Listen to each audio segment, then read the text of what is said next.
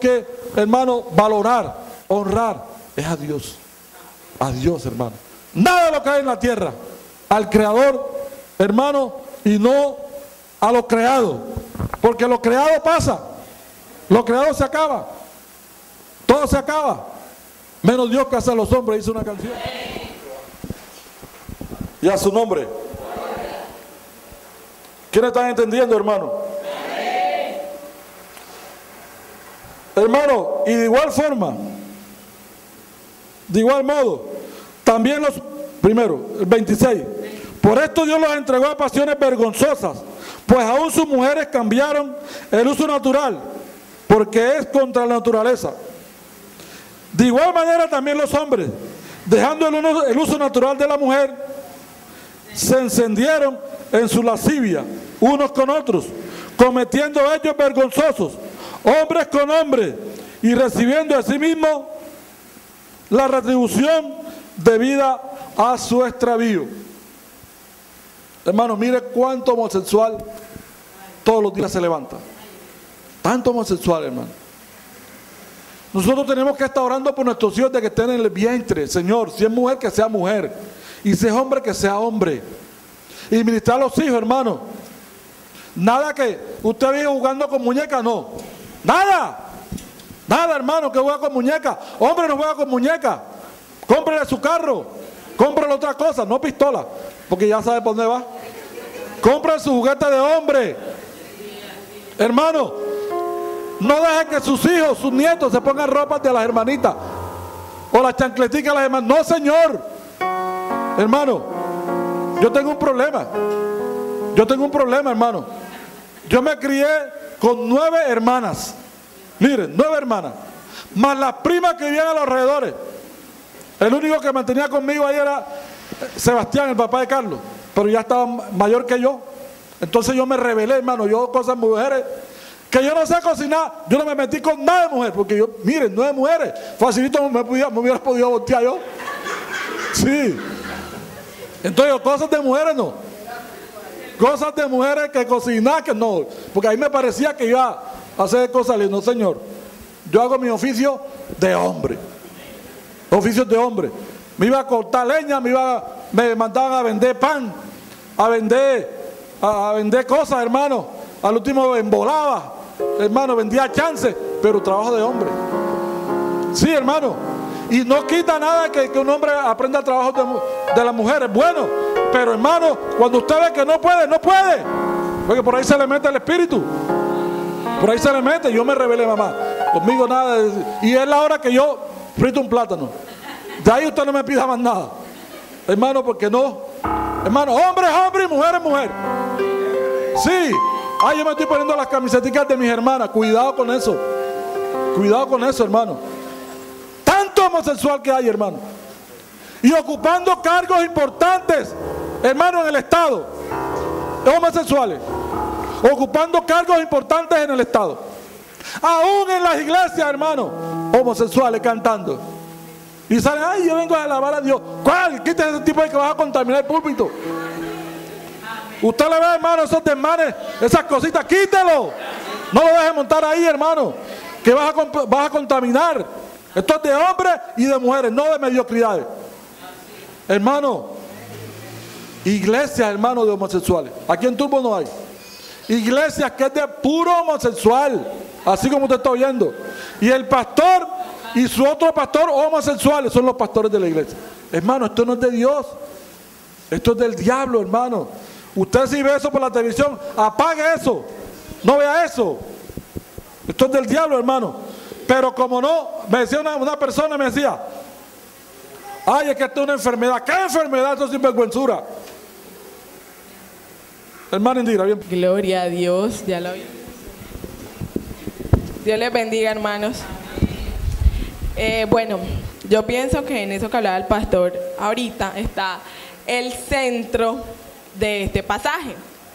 Porque si nosotros vemos, dice un título, la culpabilidad del hombre, pero la culpabilidad del hombre de qué? De que este tipo de cosas estén pasando. Nosotros nos preguntamos, ay, ¿por qué hay homosexuales? Porque el hombre se desvió de Dios. La palabra dice en el versículo 21, pues habiendo conocido a Dios, no glorificaron no lo glorificaron como a Dios ni le dieron gracia, sino se envanecieron en, en sus razonamientos y necio y su necio corazón fue entenebrecido, porque el alejarse de Dios trae consecuencias. Estas personas en ese tiempo se alejaron del Señor y la palabra dice en el versículo 26, por esto Dios los entregó a pasiones vergonzosas. Por esto hoy en día hay tanto homosexual, porque el alejarse de Dios trae consecuencias. Y esta fue la consecuencia que para estas personas trajo el haberse desviado del propósito de Dios. ¿Cuántos de nosotros hemos conocido al Señor, hemos servido al Señor y nos hemos alejado de Él?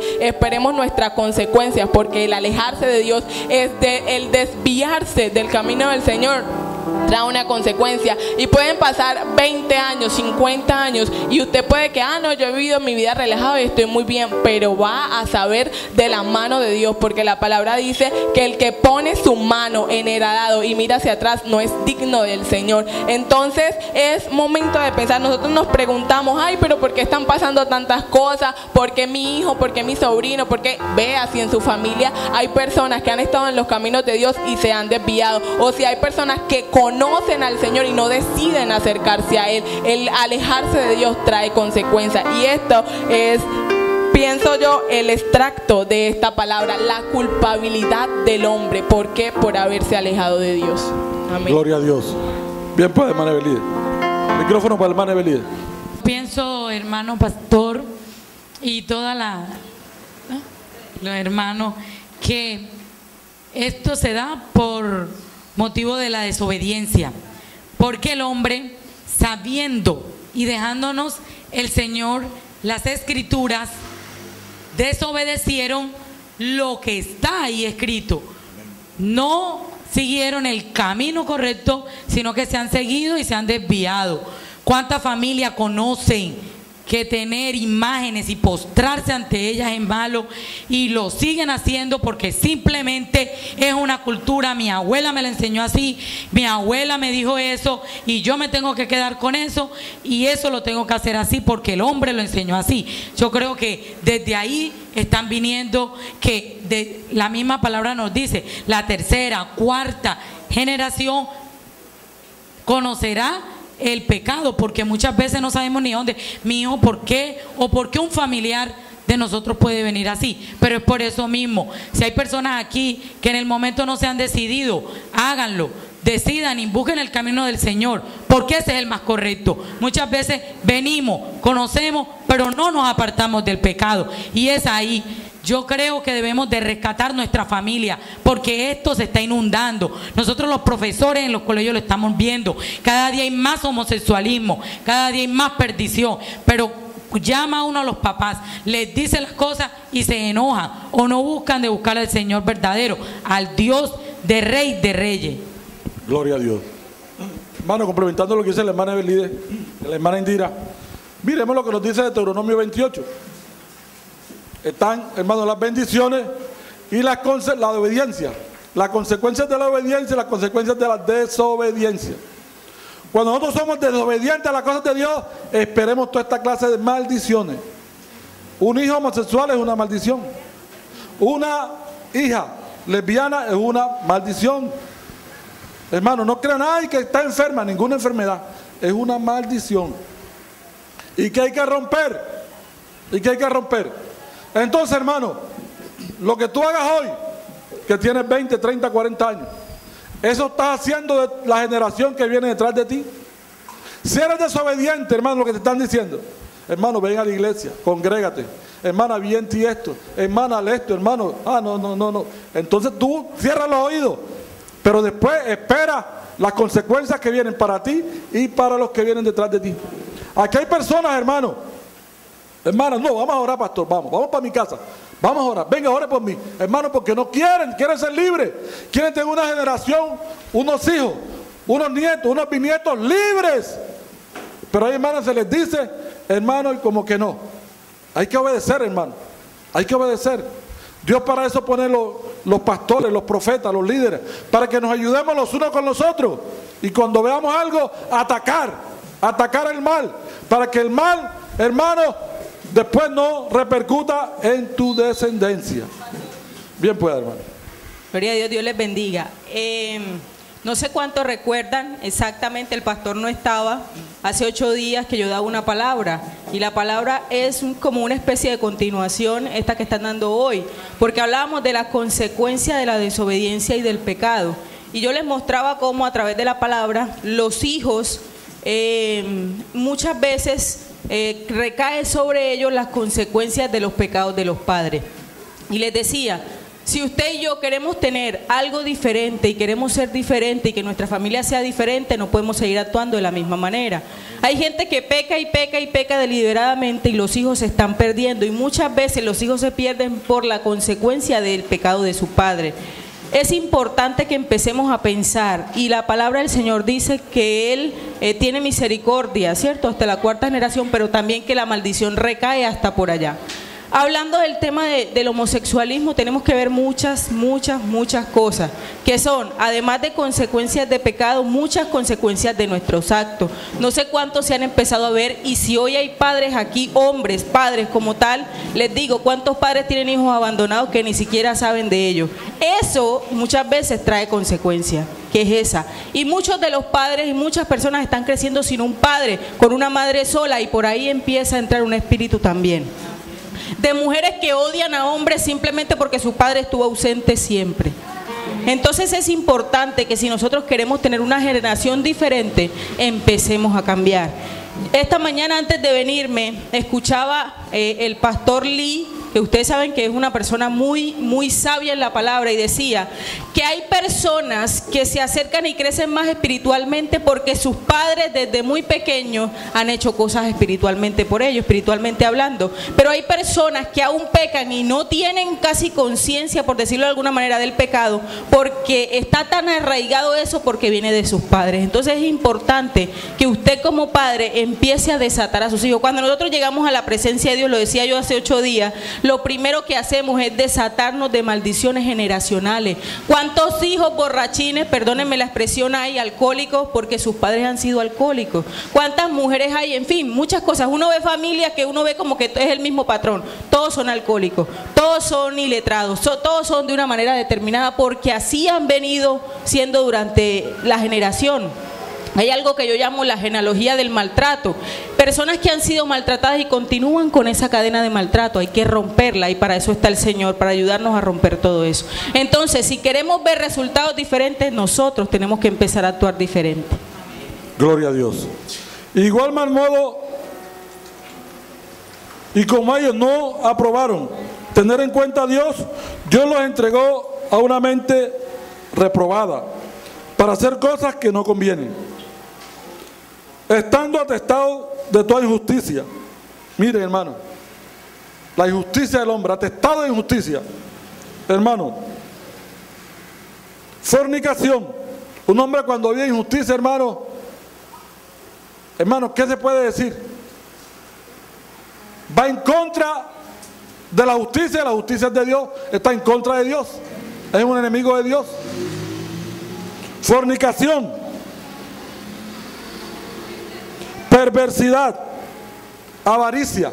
Miren, cuando nosotros no obedecemos a Dios, estamos exentos a que estos espíritus, estos demonios estén en nosotros.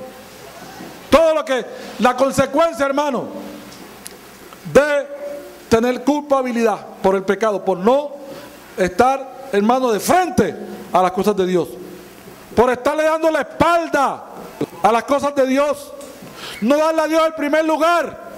Entonces vemos todo esto, hermano, y no espera, hermano, ese familiar, ese amigo suyo, hermano, que no es cristiano, cualquier día, hermano, se levanta en contra suya, o usted lo vea que comete cualquiera de estas cosas. Está exento. O lo tiene ahí, pero ese espíritu, ese demonio todavía no se lo ha despertado, no se ha desarrollado. Apenas se desarrolle, hermano, a cometer de toda clase, hermano, de criminalidad, de injusticia, de pecado, de delito. Perversidad, avaricia, maldad, llenos de envidia. Hermano, miren, una persona que no tiene a Dios no le puede ver nada porque está con la envidia. Y recuerden, hermano, que el envidioso es peligroso. El envidioso no apenas dice, ay, no, ve a Carmen cómo tiene esa casa tan bonita. El envidioso va a buscar para echarte cosas para que para destruirte. Que el propósito no es apenas decirlo. Hay un dicho, una propaganda en la televisión. La envidia es mejor despertarla que sentirla. Es cierto, hermano. Porque el envidioso te quiere destruir. Te quiere destruir. Y tú tienes tu esposa bonita y ya quiere quitártela. Tienes tu esposo bonito responsable que te lleva tu comida, cría a tus hijos. Ya quiere buscarlo para dañarte tu hogar. Y está tienes un buen empleo, ya quiere destruirte tu trabajo para que lo pongan a él. Haz lo que sea, pero hasta que no él logra ese propósito, no es feliz. Esa es la envidia. La envidia no es apenas, apenas hay sentir envidia. No, eso hermano es peligroso. Sin hacerle nada te echan, te echan maleficio. Sin necesidad de tú le, le digas nada, apenas por la envidia. Por la envidia, hermano. En la iglesia también se ve con los celos espirituales, los celos ministeriales. No, el hermano como predica, el hermano como canta, el hermano como ora. Entonces hacen oraciones contrarias. En muchas iglesias se ve. Pero eso son hechicería. Esos son, hermano, obras de Satanás. El cristiano tiene que, hermano, alegrarse cuando su hermano prospera. Alegrarse cuando su hermano supera. Alegrarse cuando su hermano recibe dones y ministerio de Dios. Eso es lo que hace el cristiano. No podemos sentir envidia, hermano, absolutamente por nada. Homicidios. Mire, hermano, tanto homicidio que hay. La hermana de la sabe, hermano, lo que nos toca a nosotros. Personas que veíamos, hermano, deambulando por la calle, pronto san, eh, una persona honesta, hermano, y con las manos sucias de sangre. En el día, hermano, personas decentes, en la noche, matando a diestra y siniestra. Llenos de. ¿Por qué? Porque le han volteado la espalda a Dios. Contiendas, engaños, malignidades, toda clase de maldad. Su corazón está corroído de maldad. Porque ahí está quién? Satanás. Satanás, hermano, es que está lleno de maldad. Cuando tú sientas algo en contra del hermano, decir o hacer algo en contra de tu hermano, hermano, ahí está Satanás en tu corazón. Y tú tienes que ser libre de eso. Tienes que ser libre. Todo el que busca el mal para los demás está imitando a Satanás. Está, hermano, obedeciendo una orden subliminal que Satanás le ha puesto en el corazón y en la mente. Tú no puedes decir ni pensar ni hacer mal de nadie. Dios no nos ha mandado a eso. Murmuradores, detractores, aborrecedores de Dios, injuriosos, soberbios. Hermano, mucho cuidado. Cuando Dios te bendiga, hermano, estás pasando por penuria, estás pasando por pruebas, hermano, estás luchando, dificultades, y apenas Dios te bendice, cambias. Hermano, ¿hay que hay? Soberbia, vanagloria, orgullo, prepotencia. Había una humildad aparente mientras lograbas el propósito. Apenas Dios te bendijo, adiós. Cuidado, hermano. Eso es peligroso. A Dios que le agrada, la gente humilde y la gente grata. Desde que usted pierde la humildad y pierde la gratitud, usted es nadie. Usted es nadie en la tierra. Así, hermano. Vale más una hoja de un árbol seca que usted. Sí, porque la hoja de árbol seca no va al infierno. Usted sí puede ir al infierno. Si usted no le para bola a lo que está en su corazón. Altivos, inventores de los males, desobedientes a los padres, hijos. Desobedientes a los padres. Y no crea para nosotros los adultos que tenemos nuestros padres vivos, hermano, obediencia también. Que Dios lo usa a ellos también para darnos un mensaje. Obedientes a los padres. Hermano, yo les digo, yo le voy a, mi mamá le doy 100 mil, me tengo que decirle de dónde viene esa plata. Ella no recibe plata aquí, no. ¿Cómo vino? No, de mi trabajo, fue las primas. Me pagaron el salario, fue esto, fue esto. Ahí sí. Y tengo 54 años. Miren, hermano. Miren.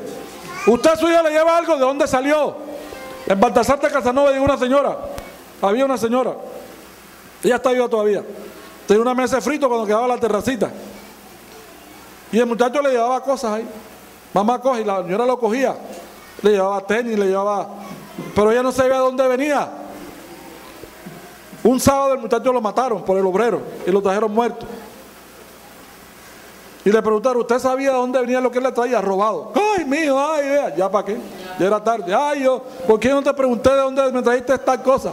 ¿Por qué no te pregunté de la plata que me trajiste? Ya era tarde, hermano. Ya era tarde. Amén. Hay que, hermano, pregunta a los hijos de dónde sale, conoce el lápiz nuevo, ese cuaderno nuevo, ese lapicero nuevo. ¿Quién se lo dio? O a veces también, hermano, la hermana de la también la pongo de testiga. Hermano, los hombres malos, corruptos, a los niños les dan plata. A las niñitas les dan plata. Les dan dulcecitos para irla endulzando para después violarla. Pregúntele a su hija dónde sacó la blusita. Llegó con reloj nuevo. ¿Dónde lo sacó? ¿Quién te lo dio? Algo que llevas con plata. ¿Quién le dio esa plata? Se nos toca a nosotros, hermano. Para que no seamos, hermano, no tengamos nosotros culpabilidad. Culpabilidad. Hermanos, desobedientes a los padres, necios, desleales, sin afecto natural. Hermano, cuando se perdió el afecto natural, hermano, reflexione, pare, hermano, y empieza a cambiar. Cuando usted no siente afecto natural, es porque ya la vida no le, ni le sabe, hermano, ni le huela nada. Ya usted vive por vivir. Ya usted vive, hermano, vegetativamente. No tiene amor por las cosas. Y lo que hace lo hace mecánicamente. Póngale amor a las cosas, hermano. Póngale amor. Si usted salió aquí, hermano, a cantar, hágalo con amor. Hermano, va a orar, ole con amor. Está trabajando, hágalo para Dios, no para los hombres. Hermano, hagamos las cosas con amor para Dios. Pongámosle ese afecto. Bien puede, hermano. Cuando la Biblia habla de afecto natural, se refiere, por ejemplo, al afecto que deben tener los padres por los hijos que se ha perdido. Las mamás están matando a los hijos, los padres las están violando, las mamás las están... Es decir, eso alude, ese es el afecto natural. Todo, todos quedamos sorprendidos con la noticia de la mamá que mató a la hija, porque es inconcebible para nosotros que una madre que debe proteger y cuidar a su hijo es la que más le cause daño. Y eso eh, trae como consecuencia que la misma sociedad también se vaya deteriorando y es un círculo vicioso. Entonces, por eso la Biblia habla de que en los últimos tiempos también habrán personas que no tendrán afecto natural. Amén. Y estos dos hermanos implacables y sin misericordia. Hermano, no crean que, que porque yo no hago el mal y soy indiferente al bien, también estoy incurriendo. Uno, uno peca por qué? Por acción. Por omisión también peca uno, o de palabra. Cuando no tenemos misericordia, hermanos, somos indiferentes. Ay, hermano, se prendió la casa del vecino como no era la mía. Ay, hermano, un accidente. Eso era, bueno, ya tranquilo.